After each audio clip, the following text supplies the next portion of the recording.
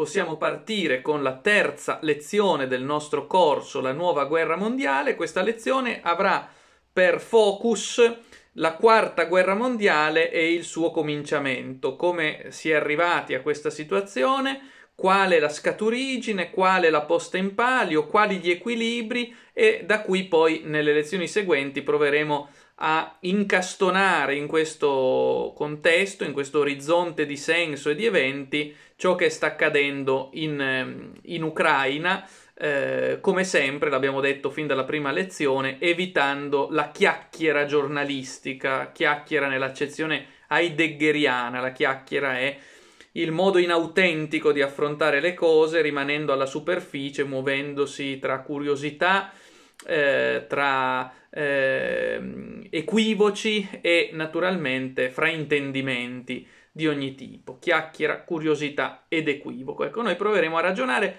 a partire dalla, dal cominciamento della quarta guerra mondiale. Come già ci siamo detti, la terza guerra mondiale fu la guerra fredda, eh, caratterizzata dalla struttura diarchica dell'universo, che eh, di fatto teneva congelati i conflitti pur con i suoi punti caldi come la Corea e il Vietnam, ma che non di meno, grazie alla compresenza di due potenze imperiali come gli Stati Uniti e l'Unione Sovietica, conteneva i conflitti che non per caso, come sapete, sono riesplosi endemicamente dopo il 1989, cioè quando si è dissolta la potenza comunista, Berlino 1989 e seguenti, quando cioè di fatto eh, la monarchia del dollaro, venuto meno il suo rivale storico novecentesco fondamentale, ha eh, preso di nuovo la sua marcia alla conquista del mondo, quella marcia che era stata contenuta dall'Unione Sovietica, che per questo abbiamo con il lessico della teologia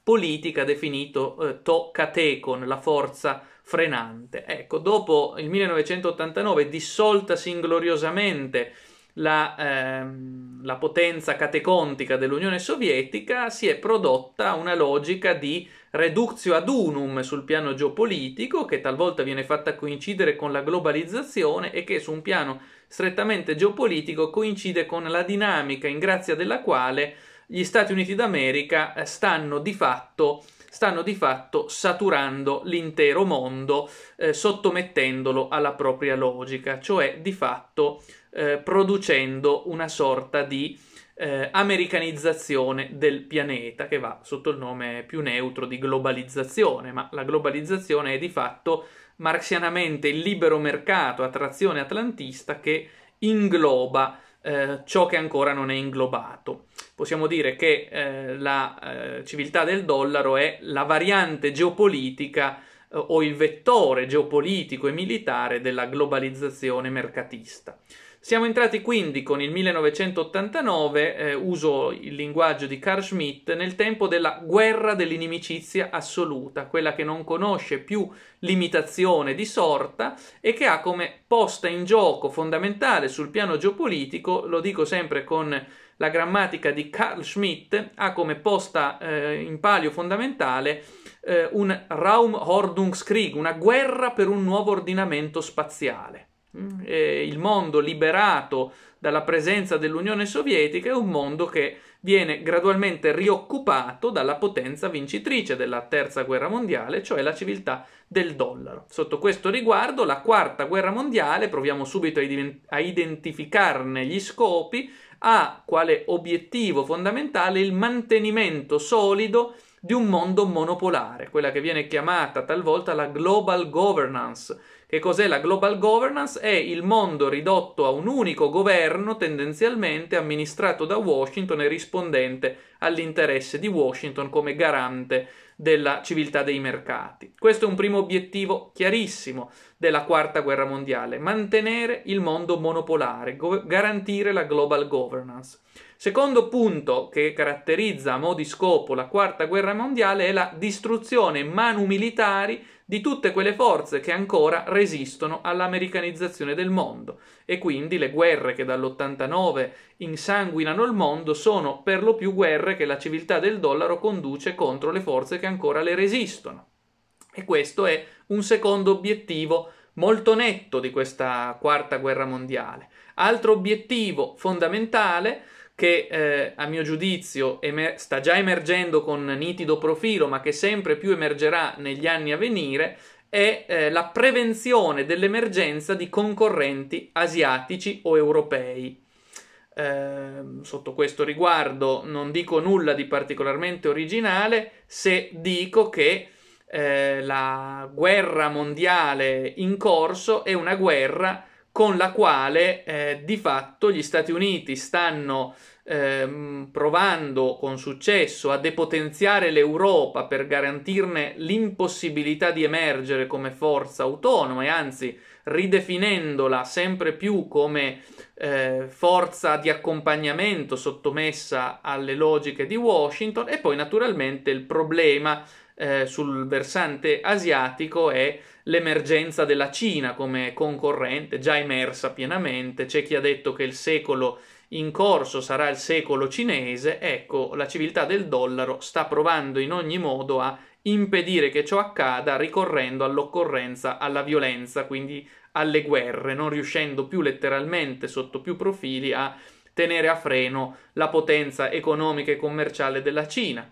Altro obiettivo di questa guerra mondiale è, come vedremo, una eh, forma di svalutazione, non saprei definirla altrimenti, del diritto internazionale. Il diritto internazionale che aveva eh, caratterizzato e strutturato l'età moderna va letteralmente gambe all'aria. Sta prendendo forma un nuovo diritto internazionale che non è più quello eh, subentrato con la pace di Westfalia del 1648, ma che segna l'avvento di un'epoca post-westfalica, potremmo definirla così. Eh, quarto obiettivo di questa guerra mondiale, mm, forse già esplicitato, forse detto fin dall'inizio, è la mondializzazione senza frontiere dell'economia deterritorializzata, spoliticizzata a guida atlantista. Ecco, se volessimo eh, individuare, la, la, quarta guerra mondiale inizia già nel 91 con eh, la guerra del Golfo, come sapete, ma se volessimo individuare il documento programmatico che mette a tema la quarta guerra mondiale, allora lo troveremmo eh, nel discorso tenuto dal presidente Bush il 20 settembre 2001. 20 settembre 2001, vale a dire all'indomani della tragedia delle Torri Gemelle. Rileggendo quel documento abbiamo, credo, delineato con limpido profilo eh, esattamente il contesto, ma anche gli obiettivi e i modi di questa quarta guerra mondiale. Eh, la quarta guerra mondiale è la guerra contro i terroristi. Ma chi sono i terroristi? Sono quanti non sono disposti a riconoscere la sovranità imperiale americana. Terrorista, come sapete, in questi giorni è stata definita anche la stessa Russia di Putin, Stato terrorista.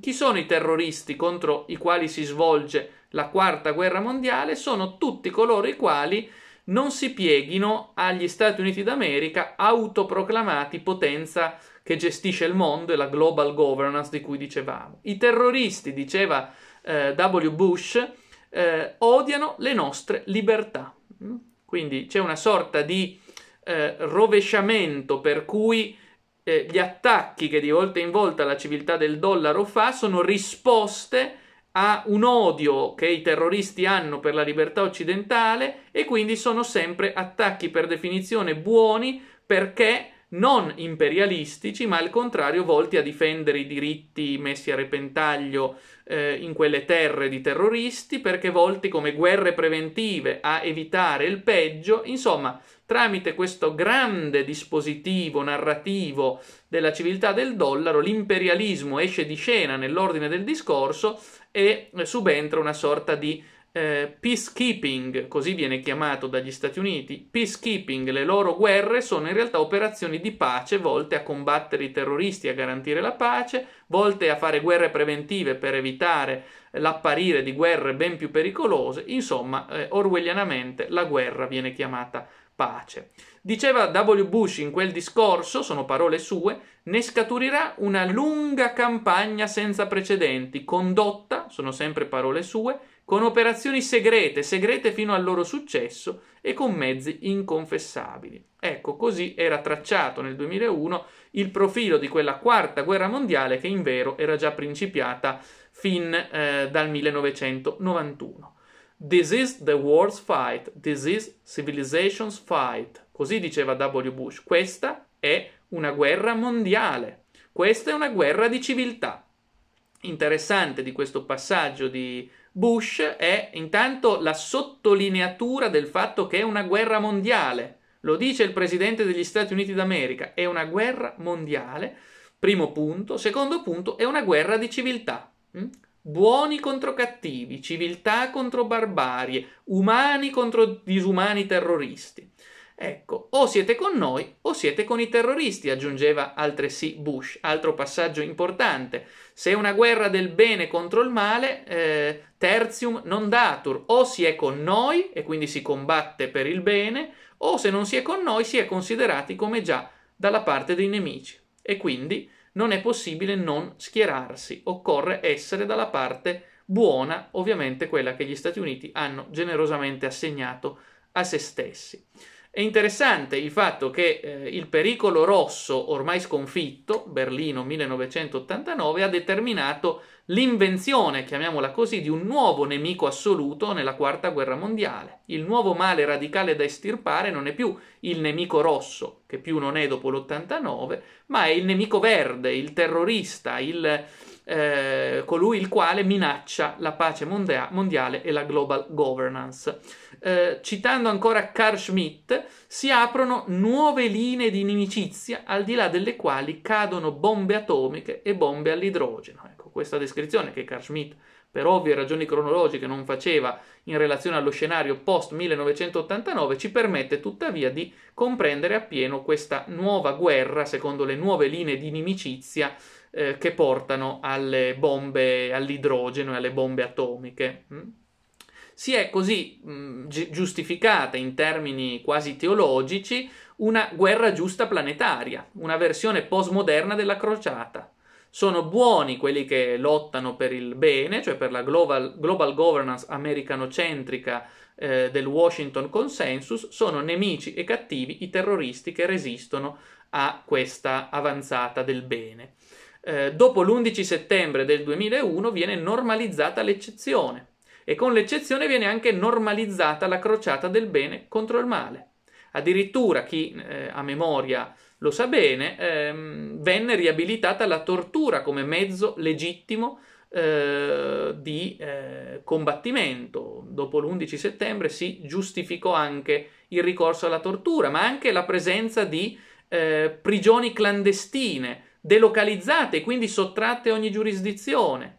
Eh, disse eh, giustamente a quel tempo eh, Giorgio Agamben in un testo intitolato eh, Homo Sacer, eh, che viene dopo l'89, siamo nel 1995, prima delle Torri Gemelle, ma già nella Quarta Guerra Mondiale, disse Giorgio Agamben eh, azioni che di per sé non presentano il valore di legge ne guadagnano la forza. Mm? Se si definisce lo scontro come guerra di civiltà e il nemico come il terrorista, non vi è pace né negoziazione possibile, da che con il terrorista non si può trattare, non si può scendere a patti, quando anche venga sconfitto, lo si deve disintegrare e poco importa con quale mezzo. Si fonda una inimicizia assoluta che di fatto eh, genera misure antiterroristiche che sono esse stesse terroristiche. Il terrore contro il quale combattiamo giustifica infine mezzi che sono essi stessi radicali e che di fatto finiscono per riproporre il terrore in nome della lotta al terrore. Bombardamenti, distruzione di civili e di strutture, eh, guerra portata fino alle sue estreme conseguenze, come si diceva. Sotto questo riguardo, Ehm, la eh, sovranità imperiale mondializzata degli Stati Uniti impone dall'89 uno stato d'eccezione permanente e una guerra permanente che deve essere, che deve essere eh, continuamente mantenuta. Se, ancora parafrasando Carl Schmitt, sovrano è chi decide sullo stato d'eccezione, nessuno oggi è più sovrano del presidente statunitense. Poco importa se sia Bush, Clinton, Obama, Trump o Biden. Il presidente degli Stati Uniti d'America è colui del, il quale decide dello stato d'eccezione. Dicevo che il cominciamento si suole far risalire alla guerra del Golfo del 91, ma in verità già nell'89, dicembre 1989, quindi poco, veramente un mese dopo la caduta del muro di Berlino, gli Stati Uniti già si avventuravano in una guerra interna questa quarta guerra mondiale, l'invasione di Panama, nome in codice guerra giusta, giusta causa anzi, che fu il primo atto della quarta guerra mondiale che eh, nel 91 poi proseguì con eh, la guerra d'Iraq contro il nuovo Hitler Saddam Hussein in vista del controllo del mondo arabo e musulmano, poi vi fu la guerra imperiale contro il Kosovo, o meglio contro la Serbia per il Kosovo del 1999 con annessa Reductio ad Hitlerum di Milosevic eh, e ci fu peraltro in quel contesto fatto po- troppo poco spesso ricordato la creazione di Camp Bondsteel Camp Bondsteel è ad oggi la più grande base americana sul territorio europeo che venne creata proprio in concomitanza della guerra, della guerra contro la, eh, la Serbia. Mm.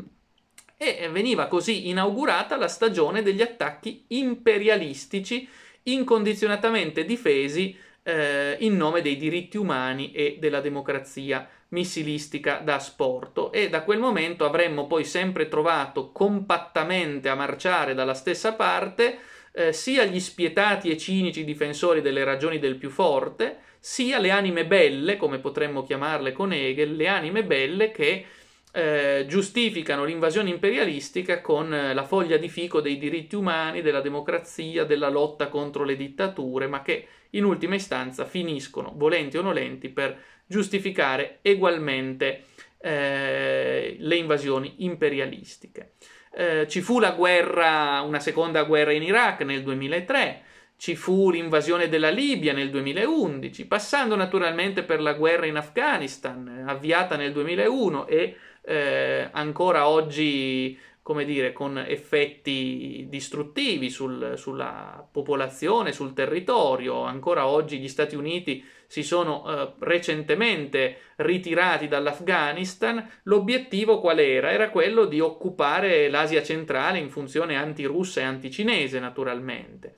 Eh, in quegli anni si imponeva soprattutto la demonizzazione dell'Islam come ideologia di riferimento per in qualche modo giustificare l'identificazione tra Islam e terrorismo e per giustificare egualmente l'attacco, ter- l'attacco ter- antiterroristico, ma a suo modo terroristico contro il terrore. L'11 settembre del 2001 però è la svolta epocale, come dicevamo, perché in qualche modo eh, diventa il casus belli per una sequenza di nuove aggressioni imperialistiche che sono presentate eh, come risposte obbligate all'11 settembre e in qualche modo gli Stati Uniti d'America fanno valere sul piatto della bilancia l'aggressione che hanno subito nel 2001 e eh, di fatto possono presso l'opinione pubblica mondiale giustificare cose altrimenti ingiustificabili presentate come guerre preventive contro il terrorismo, di modo che appaia legittima l'aggressione di stati sospettati di terrorismo per evitare che si ripetano episodi come le torri gemelle. Questo è un po' il nocciolo dell'argomento non solidissimo che è stato utilizzato.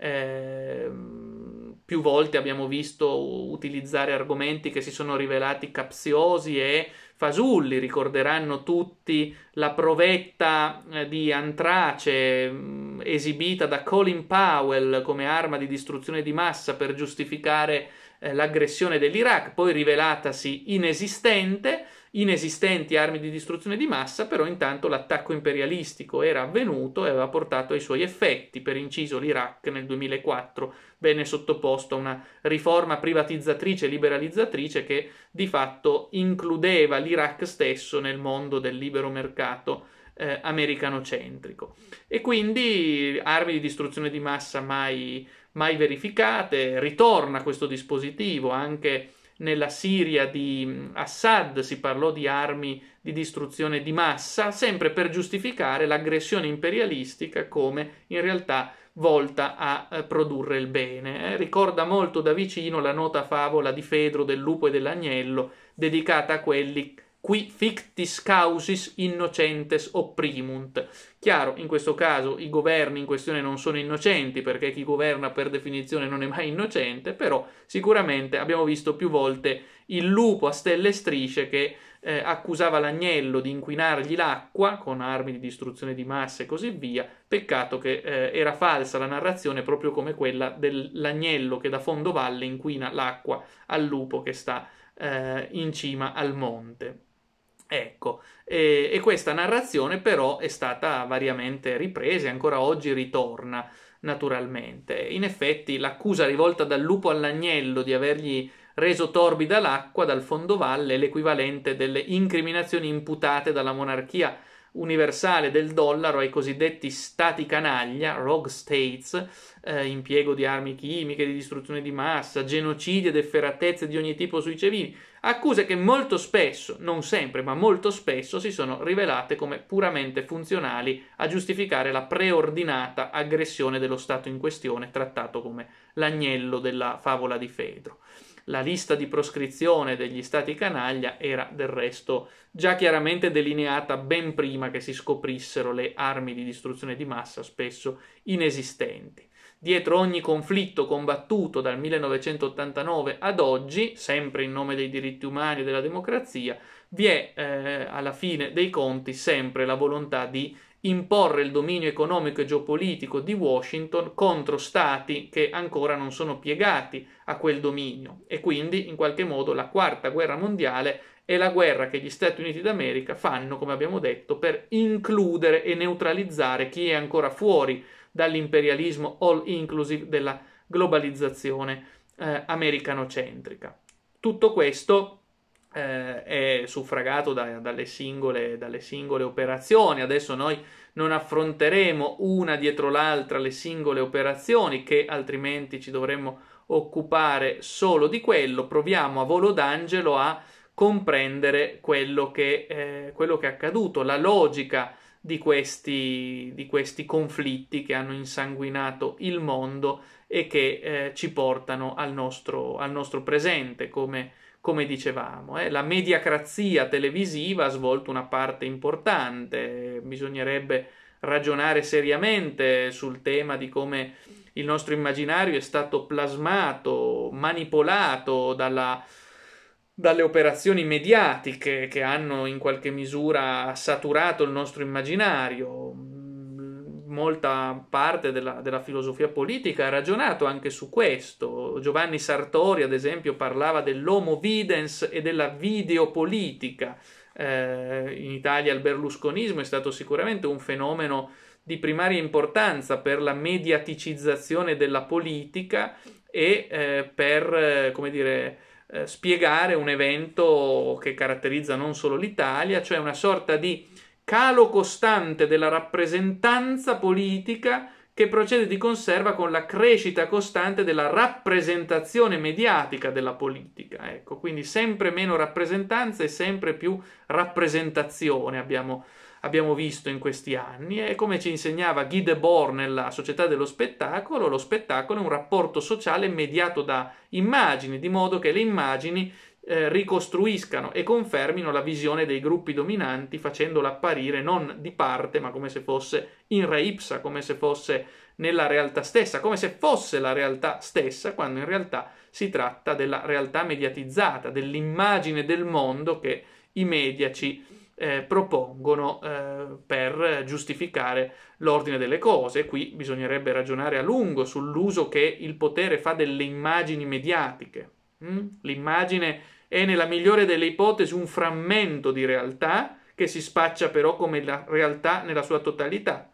Se vi mostrano eh, la violenza di un'aggressione, eh, supponiamo, di, di, di, un popolo eh, come poteva essere quello serbo, ma senza mostrarvi l'aggressione dell'altra parte, vi stanno certo restituendo un frammento di realtà, ma con una visione chiaramente ideologica, quella che in qualche modo limita la violenza a una delle due parti del conflitto senza mostrarla nella sua eh, totale presenza.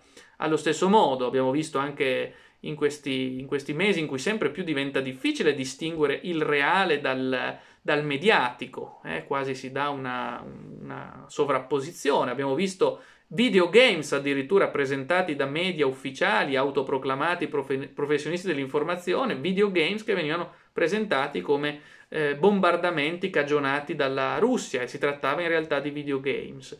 Ecco, possiamo dire che ehm, sotto questo riguardo, con buona pace di Habermas e del suo ottimismo comunicativo, eh, il dominio non si dissolve nella sfera pubblica, ma al contrario si rinsalda nella sfera pubblica complice la proprietà privata dei mezzi di comunicazione, non solo dei mezzi di produzione, complice l'uso non neutro che fa il, ehm, il, l'ordine del discorso dominante, i padroni dell'informazione eh, che sempre giustificano, nel caso specifico, eh, l'imperialismo made in USA presentandolo come umanitario, come interventismo etico e così via.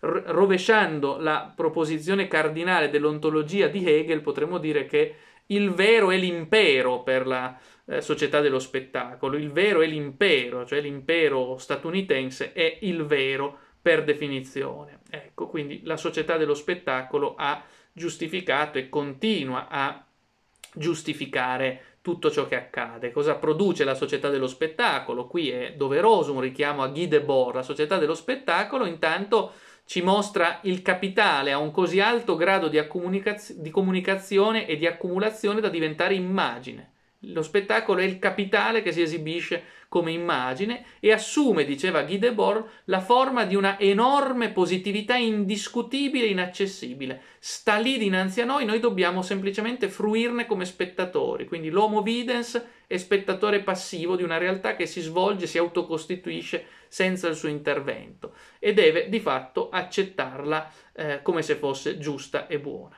Tra l'altro mm, non deve sfuggire come nell'ordine dell'amministrazione manipolata del consenso e delle informazioni eh, abbiamo sempre lo schema narrativo che abbiamo già visto eh, nelle volte scorse, quello per cui c'è eh, secondo l'ordine narrativo mediatico, c'è lo Stato canaglia che opprime il suo popolo violandone i diritti fondamentali, c'è il popolo unificato mediaticamente che vorrebbe liberarsi ma da solo non riesce, e poi dulcis in fundo arriva l'interventismo umanitario a stelle e strisce che abbatte il dittatore di turno, libera il popolo e favorisce il passaggio dello Stato all'ordine della globalizzazione americanocentrica. Così potete leggere la guerra d'Iraq, di Libia e così via. Tutte le guerre interne a questa quarta guerra mondiale si lasciano leggere in questa prospettiva. Ed è allora davvero curioso che non venga mai intervistato un solo sostenitore degli stati canaglia, dei cosiddetti stati canaglia. La parola è concessa sempre solo agli oppositori, come se appunto nella Cuba di Fidel Castro, nell'Iran di Ahmadinejad al tempo, eh, o oggi nella Russia di Putin, vi fossero solo contestatori del regime, del perfido regime neo-hitleriano, eh, mai un oppositore. Mm, per converso, come sapete, eh, basti considerare il caso dell'Ucraina, in Ucraina non c'è mai un solo oppositore del governo di Zelensky, sono tutti sostenitori di quel governo, eh, anche se poi scopriamo che quel governo ha dovuto chiudere partiti di opposizione, ha dovuto imporre il canale unico e quindi forse qualche oppositore ci sarebbe pure se solo venisse mostrato mediaticamente, ma ci diceva Guy Debord che eh, ciò che non appare non è per la società dello spettacolo e quindi se l'oppositore non appare vuol dire che non esiste. Viceversa, se appaiono solo oppositori vuol dire che i non oppositori eh, non esistono. Ecco. Quindi mh, l'ordine del discorso mediatico svolge una parte sicuramente imprescindibile, sempre più importante direi. Eh, di fatto, come, come, si diceva, il dittatore sanguinario deve sempre esserci, sia esso Milosevic, sia esso Saddam, Assad, Putin o Xi Jinping. Eh, il macellaio Putin, ricorderete questa non felice ma al tempo stesso evocativa espressione utilizzata da Joe Biden, presidente degli Stati Uniti d'America, eh, c'è il dittatore che è sanguinario ma eh, sempre novello Hitler, il popolo non riesce a liberarsene ma eh, arrivano poi puntualmente, eh, puntuali come un orologio elvetico, gli Stati Uniti a favorire la liberazione del paese oppresso. E in questo abbiamo già detto che eh, il la prassi del bombardamento eh, dopo Hiroshima e Nagasaki torna puntualmente perché, dicevo, c'è una simmetria della colpa in forza della quale ci siamo giustamente pentiti dei gulag e di Auschwitz, ma non ci siamo pentiti come umanità, in generale parlo, delle due bombe atomiche che quindi possono tornare a manifestarsi come eh, male necessario. E allora dopo lo sterminio di centinaia di migliaia di civili in Iraq, gli Stati Uniti, per la figura di eh, Albright, dissero testualmente che eh, fu un male necessario, ne valse la pena. Ne valse la pena perché eh, il bombardamento è orribile, ma serve a lottare contro il dittatore. È orribile, ma serve a liberare dal nemico. Ecco, questo è quello che viene quotidianamente ripetuto dagli strateghi dell'informazione anche. Ecco. Eh, tra l'altro, a proposito di destoricizzazione e di eh, teologizzazione del dibattito, dove l'altro è presentato come il male, come il novello Satana, e la parte eh, buona invece è la divinità, come disse lo stesso George W. Bush, eh, gli Stati Uniti d'America sono stati scelti da Dio per far trionfare la libertà in terra e lo stesso George W. Bush eh, usò l'espressione axis of evil, l'asse del male.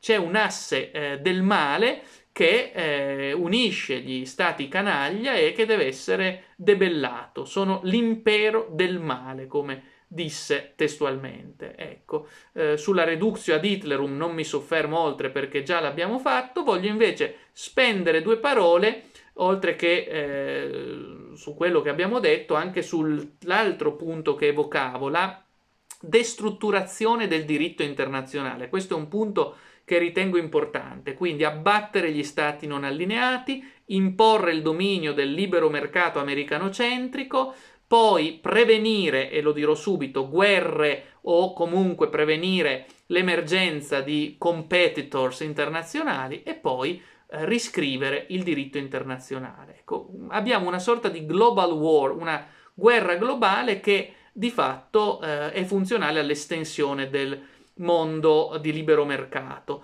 eh, e viene meno eh, di fatto la eh, guerra come era stata praticata e tematizzata nel tempo della pace di Westfalia, dalla pace di Westfalia in poi. La guerra eh, nella modernità, pur tragica nei suoi effetti, era una guerra in qualche modo eh, regolamentata, se vogliamo dire così, una guerra regolamentata perché aveva delle regole precise che eh, ne garantivano una mise in forme secondo misura, anche se poi gli effetti erano chiaramente eh, distruttivi. Sotto questo riguardo abbiamo visto come con eh, la nuova guerra dall'89 ad oggi si esca da questo, da questo scenario. Eh, per la prima volta con, eh, la nuova, eh, con la nuova epoca contemporanea si esce da quello che Carl Schmitt ha definito lo ius publicum europeum.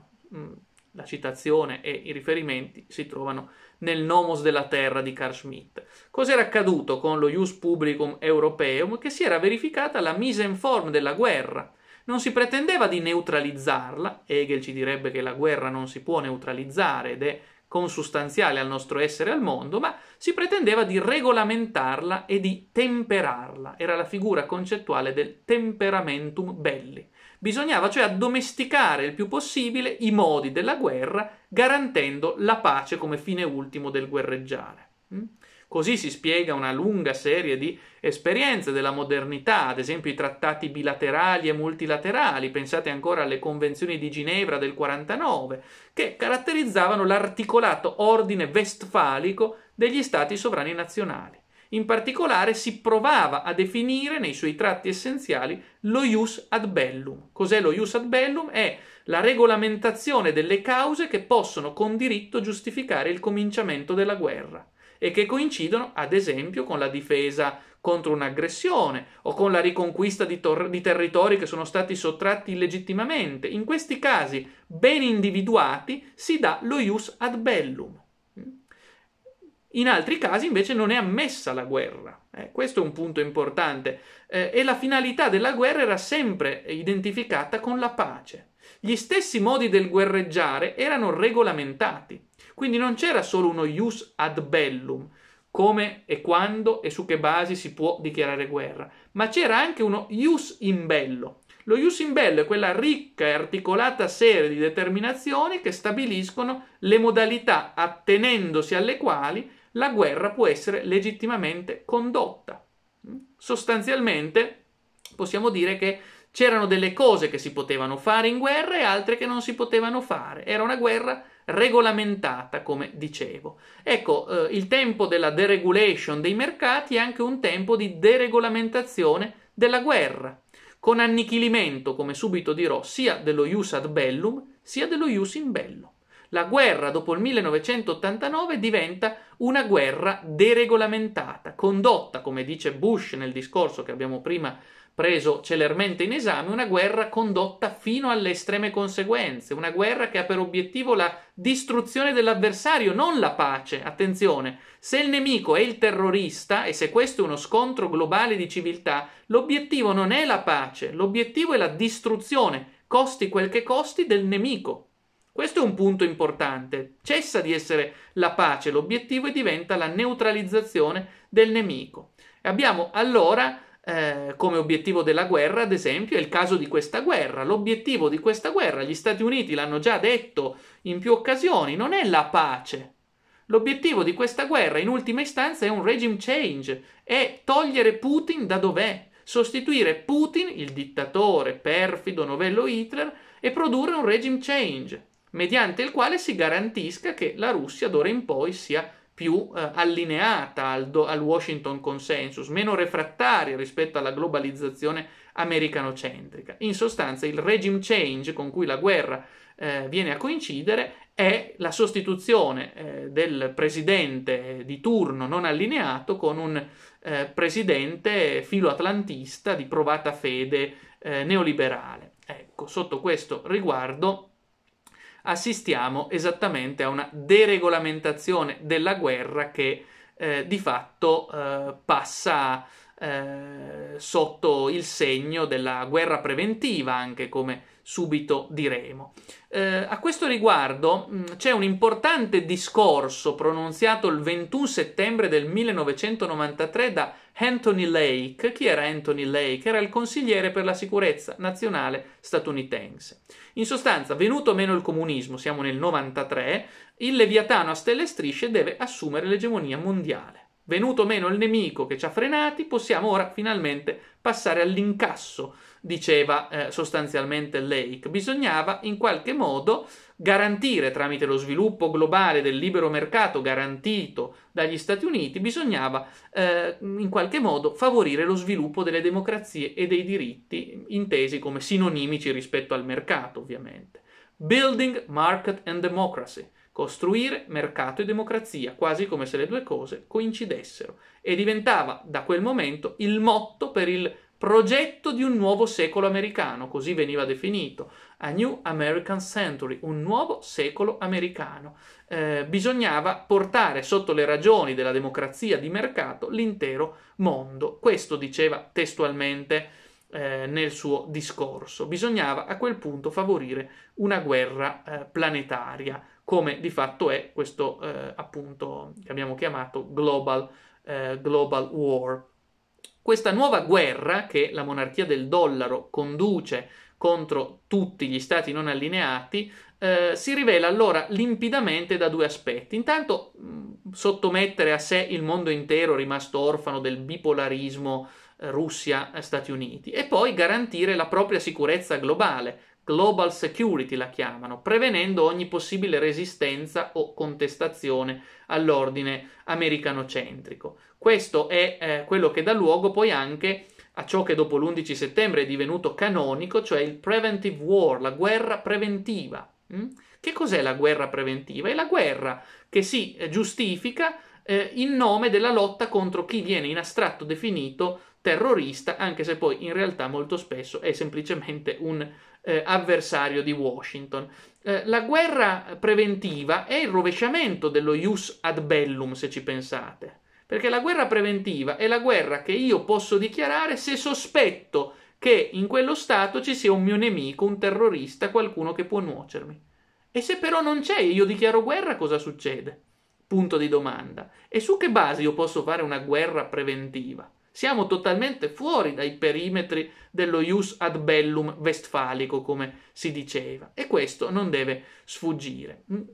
Il 17 settembre del 2002 eh, il National Security Strategy of the United States of America compendiava in due punti basici il eh, dispositivo della guerra preventiva. Che cos'è la guerra preventiva? Qual è il suo obiettivo? Eh, qual era eh, l'obiettivo di questa guerra preventiva? Primo, la garanzia del progetto egemonico statunitense su scala globale. Secondo, il mantenimento della total force atlantista per impedire il terrorismo e la rinascenza di conflittualità anti-americane. In sostanza, nel quadro di questo nuovo ordine mondiale americanizzato, eh, la guerra preventiva era la guerra che gli Stati Uniti si sentivano titolati di condurre contro chiunque si eh, frapponesse rispetto al loro, eh, al loro interesse. Rispetto al loro interesse.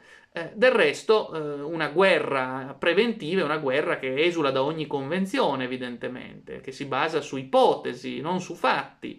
Eh, e quindi senza convenzioni. Diceva Tommaso Hobbes nel Leviatano, i patti senza la spada sono solo parole. Eh, quindi il diritto ha una sua efficacia solo se c'è un equilibrio di forze, se no è solo la voluntas del più forte. Questo è il punto. Il diritto westfalico era un diritto tra forze in equilibrio, il diritto oggi è semplicemente, possiamo dire così, lo ius sive potentia, io sono il più potente, quindi il diritto lo faccio io e se sospetto che tu sia un terrorista ti dichiaro guerra e ho titolo per farlo, sono legittimato a farlo. Ecco, questo è eh, il paradosso. Pensate che eh, il, l'idea della, della, guerra preventiva, tra l'altro, fa apparire di fatto come eh, la Carta delle Nazioni Unite sia carta straccia rispetto alla voluntas della civiltà del dollaro, perché l'articolo 51 delle, della Carta delle Nazioni Unite dice che uno Stato è titolato a utilizzare la violenza, la forza, solo quando è attaccato da un altro Stato.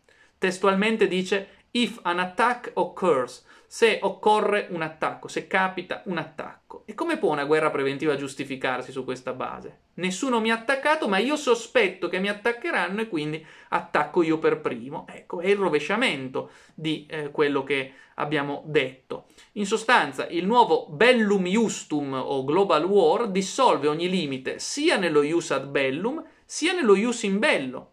Tutto può condurre al diritto della guerra e in modo analogo tutto può essere compiuto in guerra perché se il nemico è il terrorista io posso farne tutto ciò che voglio a patto che lo annienti e quindi garantisca eh, la neutralizzazione del, del, del, del nemico, ecco, del nemico ridotto a terrorista. Sotto questo riguardo i diritti umani hanno svolto e continuano a svolgere una funzione ideologica fondamentale, si vede al libro di Slavoj Žižek Against Human Rights, contro i diritti umani, cioè contro l'uso ideologico dei diritti umani, che di fatto sono, come ha con felice formula detto Noam Chomsky, the umbrella of USA power. I diritti umani sono l'ombrello della potenza statunitense ed è proprio il modo con cui a livello narrativo giustificano appieno la propria pretesa di eh, dichiarare guerra the rest of the world, a tutto il mondo non sottomesso a Washington.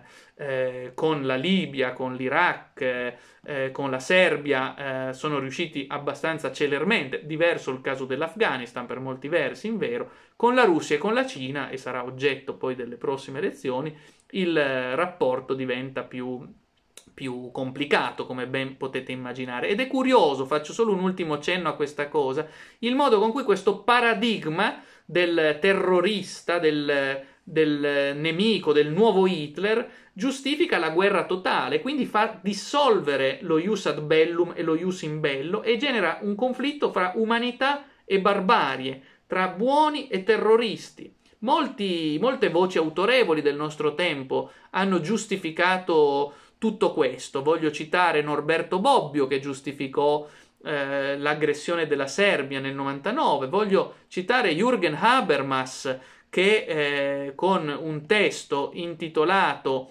eh, Bestialità o umanità eh, nel 99 di fatto distingueva fra l'umanità di chi garantisce i diritti umani e la bestialità degli stati che li violano e che in quanto tali debbono essere eh, sistemati con le bombe umanitarie e con gli interventismi etici. Cioè subentra un paradosso orwelliano per cui si chiamano operazioni di peacekeeping le aggressioni eh, militari, eh, si chiamano eh, interventismi umani eh, i bombardamenti e subentra quello che con una fortunata formula il sociologo Ulrich Beck ha chiamato il militarische pacifismus, il pacifismo militare, che è il paradosso ovviamente ossimorico fin dal nome del nostro tempo, in cui di fatto viene giustificato l'ingiustificabile all'interno di questa nuova democrazia missilistica made in USA, in cui, parafrasando lo Spinoza del trattato politico, la superbia è propria dei dominanti. I dominanti sono superbi e piegano a sé eh, anche quelle che sono dette le, le istituzioni internazionali, no? Pensate ad esempio al al, ai tribunali internazionali. Proprio oggi, mentre stiamo parlando, Ursula von der Leyen ha esplicitato la volontà di creare un tribunale internazionale, un, un, un'istituzione che giudichi i crimini della Russia. Hm? Che giudichi i crimini della Russia.